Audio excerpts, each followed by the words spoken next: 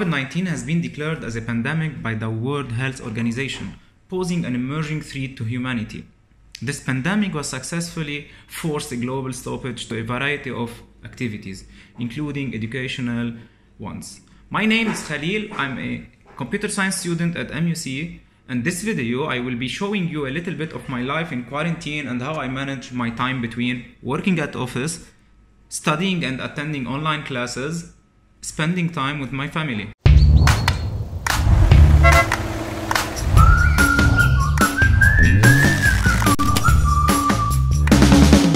It's Tuesday and I will be attending some virtual classes today.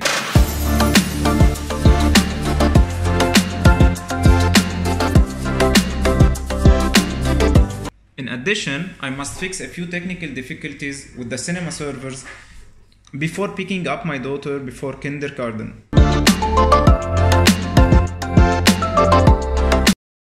Before my kids go to bed, I spend time with my family, then study, check my emails, and go to bed.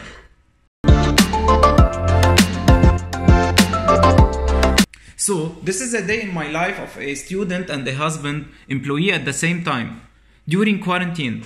Thank you guys for watching this video. Don't forget to leave me a like.